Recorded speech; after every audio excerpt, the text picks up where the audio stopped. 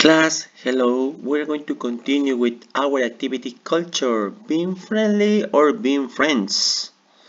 This activity is on page 63. Okay, now let's see. The topic is about culture. And I have two pictures. In the picture number one, I can see two boys and two girls. And they seem really happy. In picture number two, there is an old girl drinking I don't know tea or coffee. It's a possibility. And also she is very happy. Okay listen. That topic is being friendly or being friends. Uh, you are going to listen to this activity and after that you have three activities. In number one says read and listen the text then write true or false. No, you have A, B, C, D, E. Like Western Indians think friends don't have to be there for one another. In India, you are invited to a lot of social gatherings. Indians use please and thank you all the time, especially among friends. In India, the expectation friends have about one another are very high. Indians are kind and empathetic, welcoming, passionate and extremely giving people. Now, in the second activity says what is it what is it like to be friends in your country? In this case this is going to be a personal answer. And number three, what do you think about saying please and thank you between friends do you feel it is necessary? Why or why not? Number three, it's also a personal answer. So let's listen to this. Pay attention. Thank you. Unit 4, Track 38, Activity 1. Being friendly or being friends? That is a tough question to answer, depending on where you are from. Western Indians believe real friends should be there for one another for better or for worse. You will never be alone. You will have at least 10 offers from friends to join you in anything you do. Eventually, you will understand that you must go to your colleague's son's first birthday or his or her mother in law's 70th birthday. You must find no excuses not to join them for lunch or chai, even after just having had a big meal. You don't have to call in advance and you have to try to help your friend's brother's niece get a job wherever you work. Something you shouldn't expect from your Indian friends is the use of please and thank you. For them, doing so means you are treating them as a business acquaintance, which is something they dislike. After all, you are friends. You shouldn't feel they are not treating you well because they do not use the so called magic words of Western etiquette. The expectations friends have about one another do not rest only on the small things.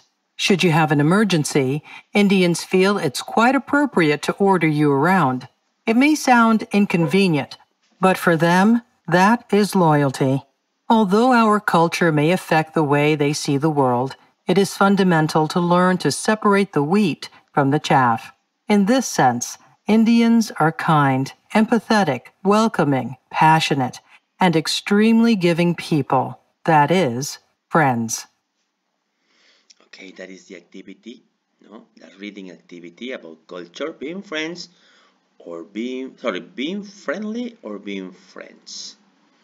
No, and this uh, activity talks about friends, no? And the special place is India.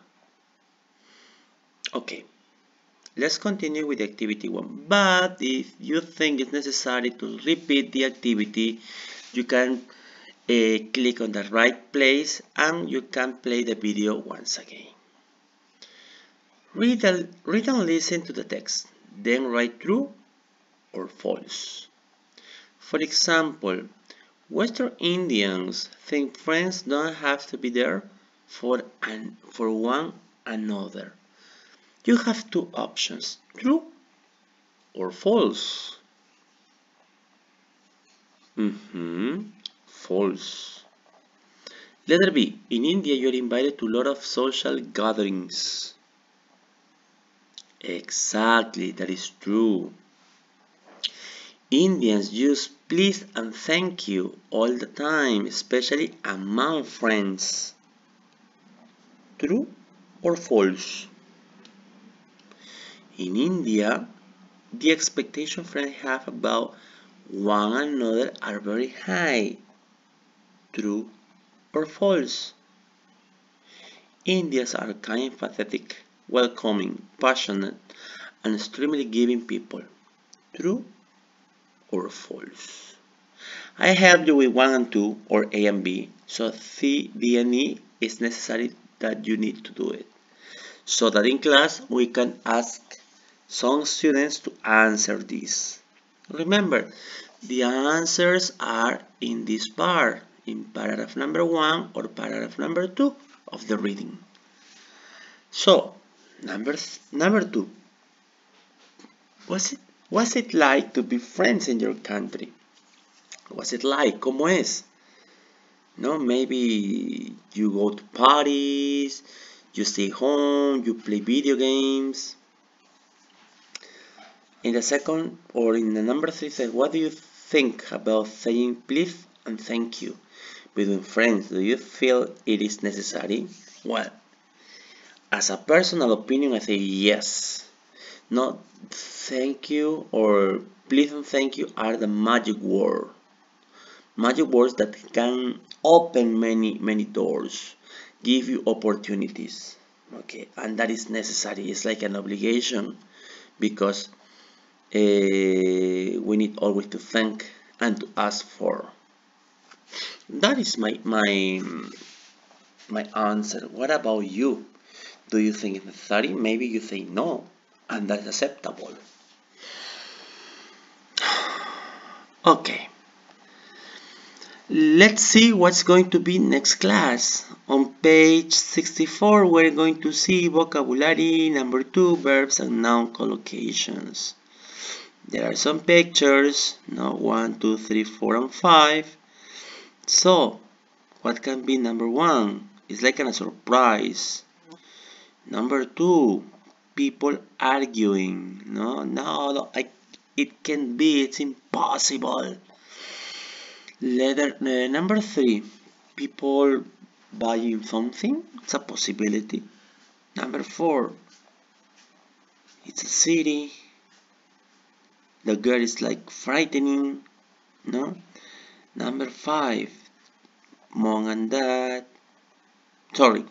Mom and daughter friends. I don't know. Maybe talking about anything important.